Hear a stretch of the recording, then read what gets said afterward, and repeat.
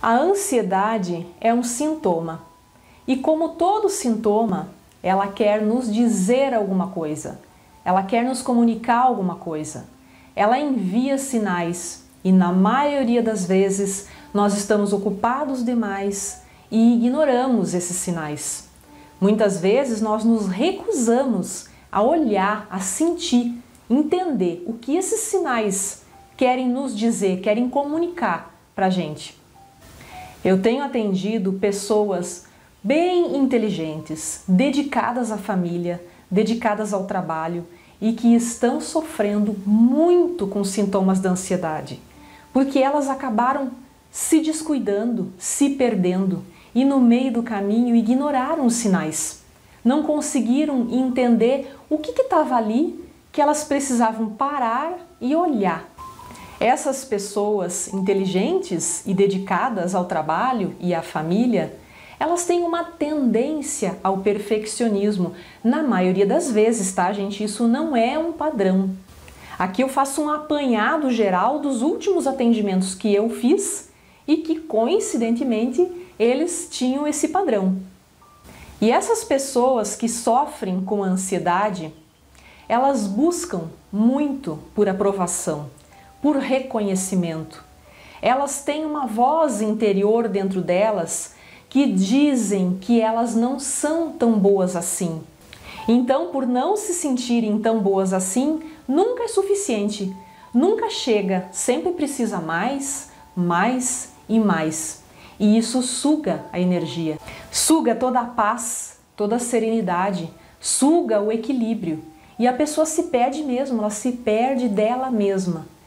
E também essa voz interior que cobra dela que ela seja cada vez mais boa porque algo diz que ela não é tão boa assim, muito que provavelmente está relacionado com experiências do passado, experiência talvez da infância, da criança interior dela, de alguma situação onde ela foi desqualificada, onde ela foi ofendida e ficou com essa voz lá dentro impregnada, com um peso muito forte em cima do veredito dessa voz, dessa pessoa que acusou, que detonou com ela. Então ela carrega isso dentro do emocional dela para todas as áreas da vida. Então nunca chega, nunca é suficiente na família, nunca é suficiente no trabalho, nunca é suficiente dela com ela mesma e é bem fácil se perder nesse caminho aí, viu? E essas pessoas que sofrem cada vez mais com essa ansiedade, elas se cobram demais, elas se punem. E tem uma voz lá dentro delas, inconsciente, que elas nem se dão conta, que fazem com que elas se comparem o tempo todo.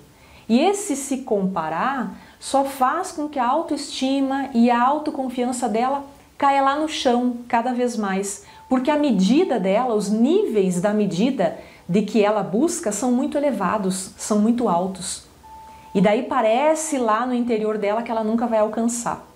E isso gera lá dentro dela uma consumição, uma corrida, quase como corrida dos ratos. E a gente começa a se maltratar. É como se a pessoa tivesse um juiz severo ao lado dela, punindo o tempo todo, exigindo que ela faça diferente, que não tá bom, que precisa ser diferente, que precisa ser de novo e de novo e cada vez mais e cada vez mais. E os conflitos lá dentro, a falta de paz começa a aumentar em proporções significativas. É como se a pessoa estivesse buscando uma nota, uma classificação externa o tempo todo. Passou ou não passou? Foi classificada ou não foi classificada? Ganhou cinco estrelas ou ganhou apenas uma estrela? Só que toda essa dinâmica, todo esse movimento interno cria um monstro dentro da pessoa.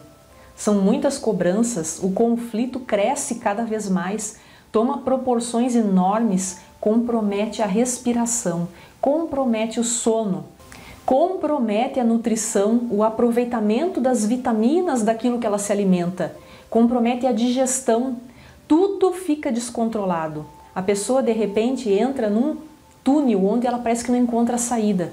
Isso é muito difícil, gente. E eu quis trazer esse relato aqui justamente pela importância, pela seriedade, porque a tendência da ansiedade é crescer, ela não para, ela não estaciona. E quanto mais a pessoa ignora, quanto mais ela se recusa a lidar com esse conflito, as proporções crescem significativamente. Então, o que, que acontece no momento seguinte? Possivelmente síndrome do pânico, que é quando a ansiedade não encontra mais espaço dentro de si e estoura, extrapola e quer sair do corpo, que são os sinais físicos onde a pessoa precisa de intervenção. E com a síndrome do pânico instalada, a pessoa muitas vezes não dá mais conta de ter uma qualidade de vida, de levar o seu dia a dia, ter uma rotina saudável no trabalho, na família, com lazer, tudo fica comprometido. Então, o meu pedido aqui encarecidamente é que olhe para isso com amor. Olhe para isso com o amor que você olharia para o problema de um filho ou para o problema de uma pessoa que você ama muito. Porque aqui nós estamos falando da pessoa que vai estar com você até os últimos dias, que é você mesma. Eu mesma já vivi uma experiência de ansiedade na minha vida, mas como eu era muito jovem, eu não só ignorava os sinais porque eu desconhecia o que, que aquilo ali pudesse ser. E isso foi crescendo, foi crescendo, tomou proporções imensas até chegar à síndrome do pânico. E mesmo depois de eu ter feito uma intervenção médica com medicamentos, de ter me curado, e na verdade ali eu não buscava autoconhecimento, não tinha níveis de evolução de consciência, não tinha maturidade para entender, então eu não busquei essa parte espiritual, esse crescimento espiritual. E algum tempo depois, talvez uns 5, 6 anos, ela veio com tudo novamente. Porque aqui precisa ter uma integração, precisa ter o conhecimento da parte física, da parte emocional e da parte espiritual. E isso a gente faz com autoconhecimento. Então, por eu já ter passado por isso, é que eu consigo ter essa capacidade não só profissional, como de ter vivido na pele, de passar essas informações para você, de passar essa tomada de consciência necessária que é preciso para que a gente possa viver com mais leveza, para que a gente possa viver com mais harmonia, com mais equilíbrio, porque eu acredito seriamente que todos nós merecemos ter uma vida mais leve com mais sentido, com mais propósito, com mais significado. E para isso nós precisamos ter saúde emocional. Então, se você sentir que precisa de ajuda, não evite, não relute, não resista, peça ajuda. Será uma honra caminhar do seu lado.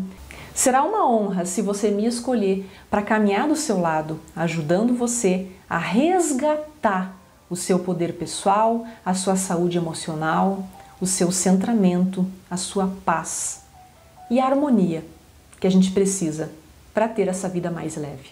Tá bom? Eu espero que esse vídeo tenha ajudado você e se gostou, compartilhe com os amigos, dê o like aqui embaixo para ajudar esse vídeo a se espalhar para o maior número de pessoas possíveis, tá bom? Um grande beijo. Tchau, tchau.